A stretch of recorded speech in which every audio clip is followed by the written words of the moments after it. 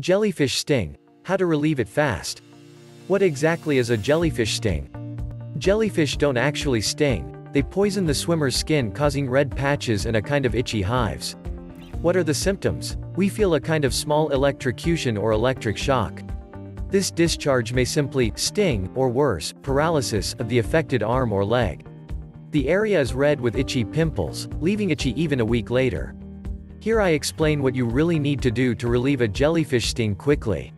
Because I can tell you that I got bitten a lot of times by these critters. Every summer I find myself with blisters on my arms and legs when I go surfing. It burns, it stings, in short it hurts a lot. Fortunately, three years ago, I discovered a natural and effective remedy to relieve a jellyfish sting quickly. Grandma's trick is to use a baking soda paste which will calm the burning sensation instantly. What you need. 1 tablespoon of baking soda, 2 tablespoons of lukewarm water, bowl, spoon.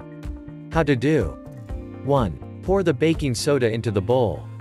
2. Add the water. 3. Stir to obtain a homogeneous paste which spreads well. 4. Apply this baking soda paste on the reddened part from the jellyfish. 5. Leave to act. The paste will dry. 6. When it is dry, remove it and rinse well with clean, lukewarm water. 7. Repeat the remedy as soon as the burning sensation returns. What is the result?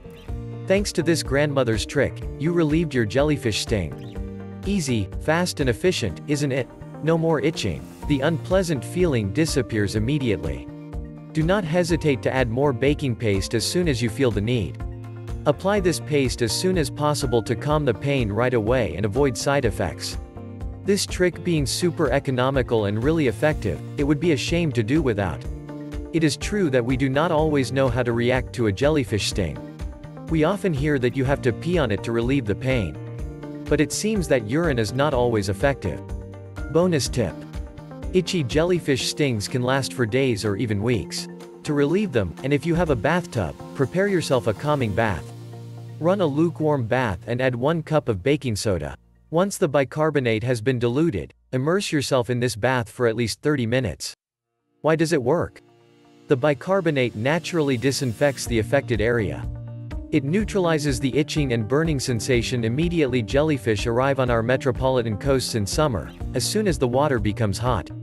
Whether in the Mediterranean or the Atlantic, filament jellyfish can be plentiful. To avoid bad encounters, trust the information from supervised beaches. Lifeguards always indicate risky days.